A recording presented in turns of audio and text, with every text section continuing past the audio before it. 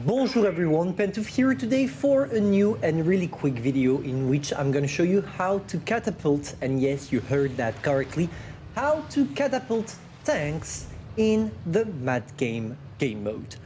You will need two things, an SU-100Y and an AMX ELC bis, both being in Bluetooth.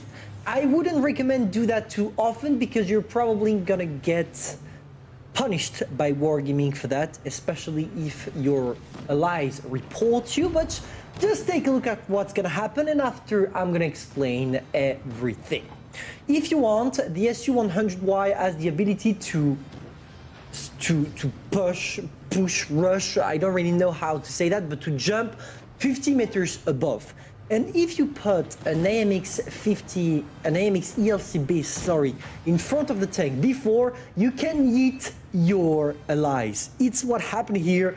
It's hilarious. And yes, it's definitely ruining the fun in mad games for others. But gotta be honest, this is something. This is something. And this is what uh, a subscriber sent me telling me, hey Bento, if you wanna know how to catapult tanks?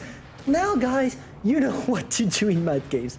Um, and I'm gonna get insulted by I'm gonna get insulted by players saying that I shouldn't do that and I shouldn't promote that. And yes, I agree with you, but guys, this is just funny. This is just take a look at this and how they yeeted the M7U at the beginning of the game. No, this is not something you need to do, but please try it because it seems like something really hilarious to do. If you enjoyed, feel free to subscribe, like, and share. There is nothing else to talk about in this video. Just try it out by yourself and keep me updated. Is it working for you or not? Yeah.